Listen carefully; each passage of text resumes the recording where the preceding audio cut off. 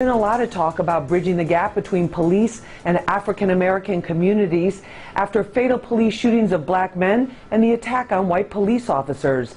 Now some big name celebrities are speaking out, but not everyone agrees their focus is on target. 23 Ways You Could Be Killed If You're Black in America is a chilling political statement from superstars like Alicia Keys, U2's Bono, Beyonce, Chris Rock, Pink, and others about cases where blacks died at the hands of police across the United States. It's a somber expression of tensions that some say are reaching a boiling point. It's a powder keg across this nation. You think Ferguson went up in flames. You think Baltimore went up in flames. People are fed up. And the flames across America, nobody will be able to douse if we don't start getting some justice, because you may not think Black Lives Matter, but black people do. While the Black Lives Matter movement navigates its way through sensitive territory riddled with misunderstandings, the author of The War on Cops says they should really be thanking police. In New York City alone, there's 10,000 minority males who are alive today who would have been dead had homicide levels remained at their early 1990s levels. The Department of Justice statistics show police kill more whites than any other race, but more unarmed blacks are killed than any other race, despite the fact they're about 13% of the population. Mac Donald says there's another statistic to look at. A police officer is 18 and a half times more likely to be killed by a black male than an unarmed black male is to be killed by a police officer. She says the real issue is crime. Some African American leaders would agree, but they'd add that more must be done to bring police and the community closer. We want to make sure that no one else loses their life this summer due to violence, be it police violence, be it black on black violence. We must end the violence now. Some voices are calling out for mutual respect and new ways to heal the wounds. Let's find out what our guests have to say about that. Joining us is Darrin Porcher. Um, Dr. Porcher is a former NYPD lieutenant. He's currently a professor of criminal justice at universities here in New York City, and he's also a commentator on radio and television. Also with us is City Council member Jumaane Williams. He represents the 45th District in Brooklyn. That's East Flatbush, Flatbush, Midwood, and Flatlands. He's been very active in policing issues as well as gun violence issues in our neighborhoods.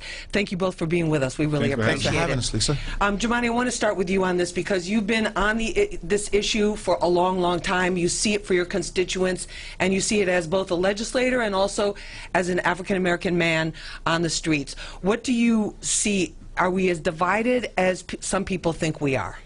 Uh, I think so, actually. On this issue, I think we're, we're generally not as divided as people think. There's a lot of commonality. But on this issue, I think there's a, a bright line uh, for a lot of people, and I think uh, that's what one of the issues are. And we have to, as you said, have an honest conversation of what things look like through race in this country. Uh, when you bring up race, people begin to shut down. But it really is a problem. And so um, one of the issues for me is we have to focus on policing. And I think we were talking outside. The other issue is not just policing. And so whatever issues we have with the institution of policing are very real but those same issues uh, exist when it comes to employment, education, housing. So you're uh, saying it's a it's a bigger issue. Darrin Porcher, Dr. Porcher, what do you think? Are we as divided as a community, or as you know, between the police and the community as some people think we are?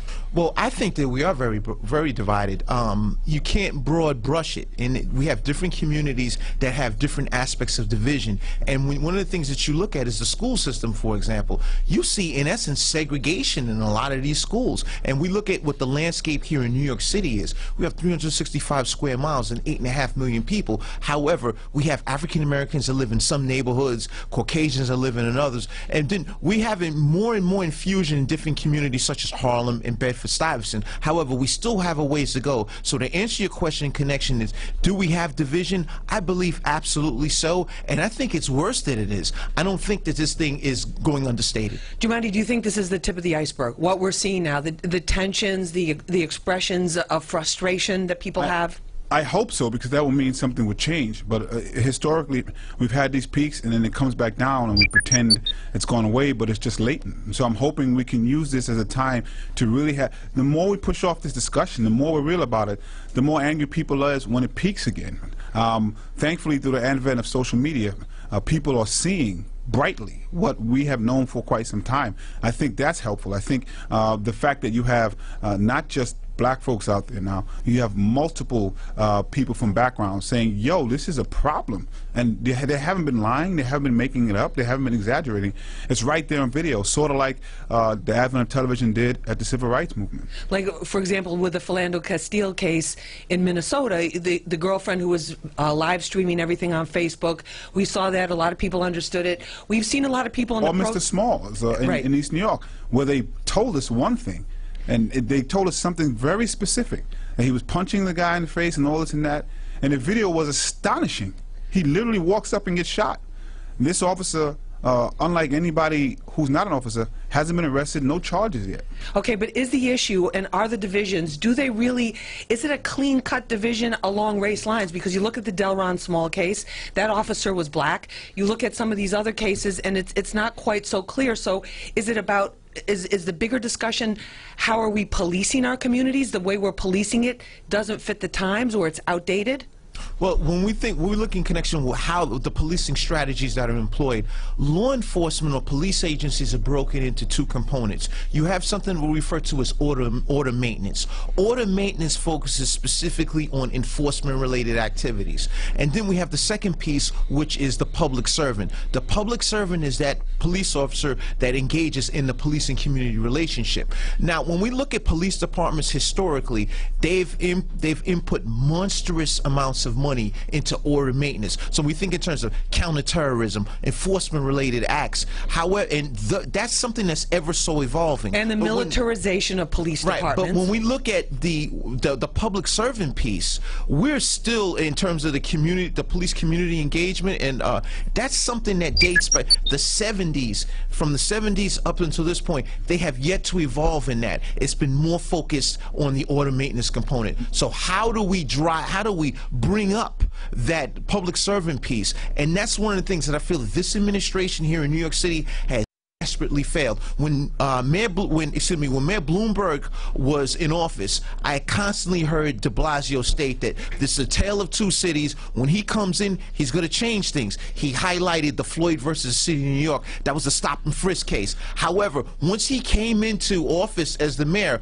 It seems like he's just regressed, and Police Commissioner Bratton has kind of done his own thing. Bratton isn't the policymaker; the mayor is the policymaker. But I'm seeing something very different. All I right, just we're wanna- going to... because one thing you said, because the officer was black, uh, I want to make it clear uh, that that doesn't change the fact that race is a factor here. And so it's very Okay, ex important. explain that to people because a lot of people, and, and I'm repeating to you and asking you guys a lot of the things people have been saying on social media, been asking me, and the, the questions that have been coming up in the public dialogue about this. If the officer is black, if the person shot and killed by that officer is also black, how is race not a factor? Because when you look at it, uh, in that case, you're thinking about how how men and women in blue are viewing uh, men and women uh, who are black and brown, and so it doesn't matter if the officer's black, brown, or white. Uh, I've I've known not you know I've known officers who are look like me and have a lot to prove, and sometimes or could be worse even than people that aren't. But the other important thing that to point out is that uh, it's how those communities are policed and how those communities are structurally ignore, ignored. And that part, that second part, uh, is very important because if it's a, a black or brown community, you can rest assured that the numbers when it comes to uh, unemployment, when it comes to lack of affordable housing, when it comes to education, mirror uh, the amounts of complaints of uh, police brutality and violence in those communities. But Jumaane, what do you say to the people? And, and I'm sure you've heard this many times at the city council hearings and, and on the streets. What do you say to people who go, well, there's more police activity, there's more aggressive police activity in communities of color because there's more crime there? Uh, well, one, there's two things there. Uh, that's not 100% accurate because if you look at something like uh, bicycle summonses, uh, you see tremendous amounts of uh, bicycle summonses in the black and brown communities as opposed to the white communities. And I believe that they ride bikes. Uh, I've seen it with my own eyes. And so you see enforcement that's just so much harsher on one side, even when it's equal when it's equal violations. At, also, they are correct that there are certain violent crimes uh, that are a little bit more, but the question is why. And the answer to that question is similar to the problems with policing and, and brutality. And no one wants to talk about those questions. Those communities have been uh, starved structurally. Access uh, inequality has been real in those communities. And we have to have discussion of personal accountability with the historical uh, denial of things that are needed in those communities at the same time. People want to separate. They want to talk about personal responsibility, but not how do we fix this structurally so that any human being you put in a situation is going to respond in the same way. We know what's going to happen. All right, this is Street Soldiers. I'm your host, Lisa Evers. When we come back, I'm going to ask our guests, how do we even talk about this? What terms are offensive? What terms are uh, acceptable? And what kind of language should we be using as we address this? That's coming up next. You can use All Lives Matter for another conversation, say something else, but if you're using it in response to Black Lives Matter, that's what the problem is. Let me ask you this. In terms of the conversation, in terms of the language, if you say communities of color, people get upset. If you say African American, people who are not African American but have a darker complexion get upset because their national origin is not being recognized. What should we even say as we talk about this? A black issue? A white issue? What should we use, Jumaane? One, we, we should approach this with empathy for both sides. Right. And understand, I I have, I used to say white privilege a lot, and I realized when I say white privilege, people think I'm calling them racist, even though I'm not.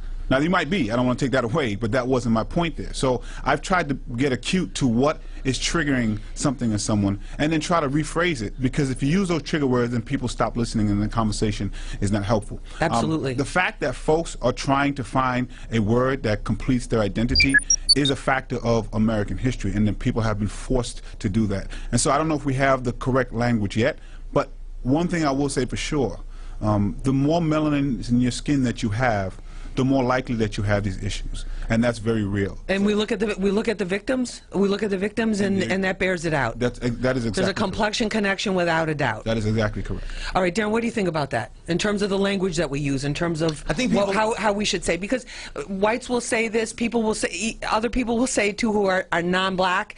How do you talk about this with be, being sensitive and being open-minded and yet not being offensive? Because the last thing you want to do if you're having a dialogue with somebody, as Jumaane said, is use a trigger word or be offensive. Well, I, you know, I don't want to date myself in terms of the age, but I remember years ago, black people were referred to as colored.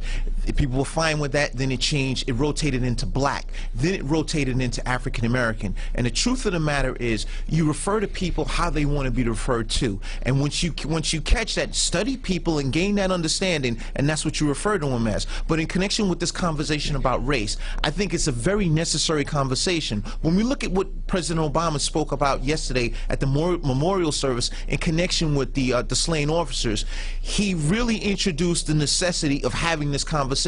Not that I agree with the organizi- organizers of Black Lives Matter. However, what they have done is they've introduced a narrative of a divisive relationship between the African American community and police, and we're now having it on a national level. That being said, once you identify with what people want to be referred to, you must have this conversation because if you don't have the conversation, it's like the boogeyman in the closet. No one, it's never Right, or the addressed. elephant in the room But that nobody once wants to talk about. Once we about. Find out. Once we address the conversation, now we can develop specific antidotes me talk- to the issues that But we one, have. one thing that's important with this, anything, any response besides you are right when you say Black Lives Matter is a problem. If someone says Black Lives Matter and you say anything besides yes it does, that is a problem. Because that is the whole issue here. When people say Black Lives Matter, you're saying all lives matter. And people are not understanding, we know all lives matter. All the data shows that other people's lives matter. What we're saying now here is the data has presented itself to us that black lives don't matter like the Black is Beautiful movement way back when. It wasn't that anything else wasn't beautiful. It was that everything was showing us and people were trying to tell us that black was ugly, black was bad. So therefore, yeah, black is beautiful. And it's the same vein here. And so that is a trigger point, and it should be. We should be allowed to assert something in the face of all the damaging evidence that we're seeing. And what about Jumaane, the, the, the subtext and the tone? Because the whole debate that's erupted over Black Lives Matter is almost like, are you even allowed to come up with your own term? Do you get that sense from it? I do. And what we should do is allow Black Lives Matter to stand alone. And, and when using that context, don't, just don't use something else. Uh, you you can use All Lives Matter for another conversation, say something else, but if you're using it in response to Black Lives Matter, that's what the problem is. You should allow people who are suffering the ability to lead a conversation in dealing with that suffering. And when you take that away, you're, you're, you're, you're violating them again. And you're talking you're talking about f- facts, you're talking about statistics, because the other thing in this national debate that has kind of erupted in various media forms and social media forms is more whites are killed by police officers every year than blacks. That is true. However, More according unarmed to the New York Times, according more to the unarmed blacks are killed by police. Uh, and, right, than and according to the, it's how you break down the statistics. And according to the New York Times, they say of all the unarmed people shot and killed by police in 2015, 40 percent were black, even though or were black men, even though black men are six percent of the American population. To speak to what you're saying, and, And you're saying more black, more unarmed black men. Are. More unarmed blacks are killed. More Caucasians are killed by police annually. However, more unarmed blacks are killed by and, and also, police. there are more white populists. Well, So- yeah, you also have Well, to well, look at exactly. So the black population is percentages, you see 13% of the United and States. And also, most of the officers, unfortunately, uh, who are murdered are murdered by white people. That- that- you know, and that's you still you still Right. get blamed for even having a discussion. Right. And so it, it just people warp everything. They don't use. I found it's very difficult to have a conversation with someone where facts don't matter.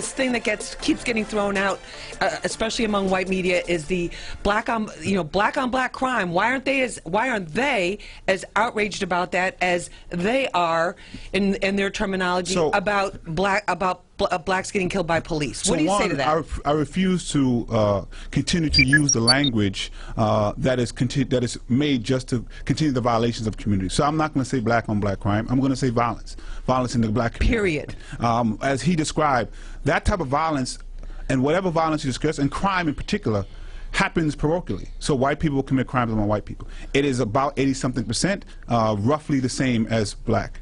Um, two, you don't tell us which violence we should speak about. Don't tell us one violence is more important than the other violence. Three, there are there are hundreds and hundreds of people across this country who are dealing with the violence in their community every single There day. are. Now, because you don't come down to those communities and participate doesn't mean it is not happening. Uh, and the third is the most important. The question is, why is there violence in this particular community? And the answer is similar to the reason that we're discussing police brutality. There is structural inequities when you look through a lens of race that has caused this. That doesn't mean we can't hold people responsible because you don't have to fall in the trap. But you should honestly describe that the trap is there to begin with. You cannot have a public safety discussion that only includes the police. I think that is a fundamental flaw. Law enforcement is not the only response to the violence in these communities. And as long as it is, we're going to have the same problems. You can't ask police to go in to solve all the structural inequities. How can police go in and solve unemployment and solve housing issues and solve education issues? It can't be done.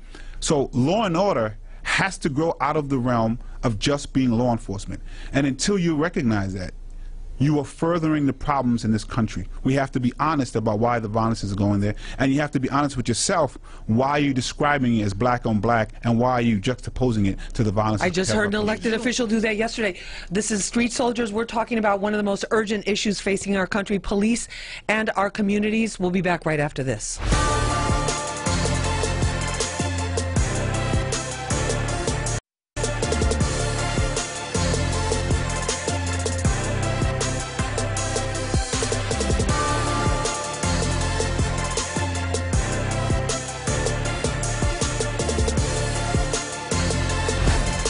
Thank our guest, Dr. Darrin Porcher, former NYPD lieutenant, City Council member Jumaane Williams, for being a part of this episode of Street Soldiers. And remember, use your mind, it's your best weapon. I hope it's your only weapon. I'm Lisa Evers. Let's push for peace.